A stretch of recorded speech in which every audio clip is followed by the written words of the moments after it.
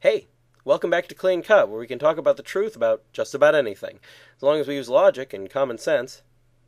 This season, we're discussing the Beatitudes, and this time, the fourth Beatitude. Blessed are they that hunger and thirst after justice, for they shall have their fill.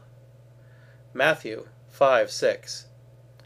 Last time, we discussed how mourning evil doing can lead to blessings, according to the third Beatitude. In a certain sense, this is the flip side of that same coin. Rather than merely mourning evil, these people love goodness and justice and want to see it prevail. They're never satisfied with only a little justice, or only a small concession towards the will of God. They want to see justice, real justice, fully and completely done. In short, they have a craving for a greater goodness which is never satisfied. Keep in mind, this doesn't refer to people who are actually impossible to please, to those who claim to want something but show no gratitude once they have it.